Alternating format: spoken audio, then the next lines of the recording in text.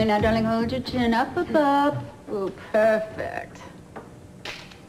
Uh, I was counting on C.C. livening things up a bit. He's so funny about the press, you can never tell when he's joking. Between you and me, darling, I don't know how you let that one get away. You're not married yourself, are you, Belle? me married, what an idea. No, darling.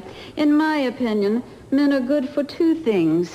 The other one is hailing taxis. uh, let's talk about the color scheme. Kelly certainly isn't planning on wearing white, is she? Um, oh, excuse, excuse me, Belle. You wait right here. I'll be right back. Don't you have servants to answer the door? Hi. Uh, don't get don't get angry with me, but Belle is is here. She's here right now. She, she came late. She is the last person I want to see now. Yes, I understand that, so why don't you just leave? Go outside, just... Why do I have to leave? Make her leave. I'll hail her a taxi. Hold it. Now, just one more. Wonderful. Oh, C.C., you made it, you naughty man. Now, I want you to tell me absolutely everything and don't leave anything out. You know my motto.